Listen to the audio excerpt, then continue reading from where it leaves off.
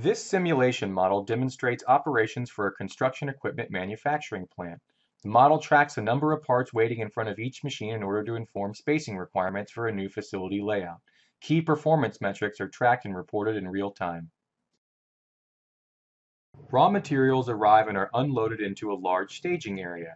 Forklifts pick up and transport material to the production line in batches according to part-specific routing sequences. Part types are distinguished by visual cues, such as color and SKU number. Custom machine objects implement complex process logic, such as sequence-dependent changeovers.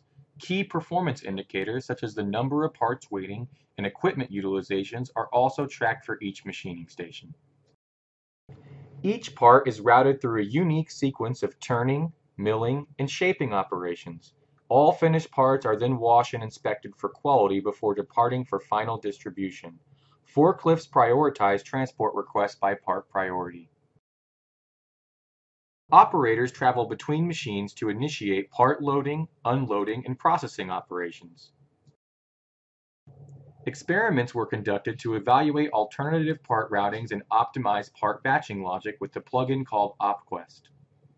Analysts can change system inputs, such as part routings and batch sizes, and compare numerical results between different system configurations.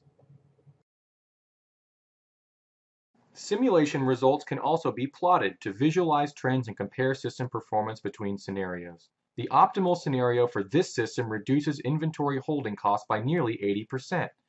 Pie charts depict equipment and worker utilizations to highlight congestion and staffing needs. This simulation model helped a construction equipment manufacturer optimize facility layout and operations, saving them millions of dollars. Contact SimCon to see how simulation can help you build better decisions today.